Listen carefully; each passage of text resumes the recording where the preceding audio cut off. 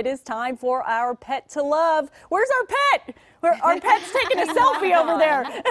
Thanks, Randy.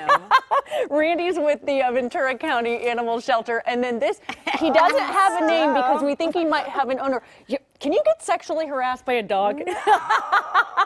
it's okay. It's okay. So he doesn't have a name because we think he has an owner, and we're hoping that someone uh, recognizes it. He's in great shape. But right now, if uh, he doesn't have an owner, we're going to call you.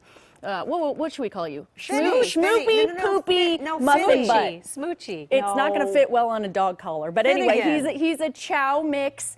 And uh, he is a little purse dog. He fits, a he chow well. mix? Yeah, chow mix. Wait, no, no, chihuahua. Chihuahua mix. I was thinking. I was. There was an say. additional part of that word. Too. Okay, all right, guys. Well, we have some good news as well. Last week, Siamese kittens were adopted.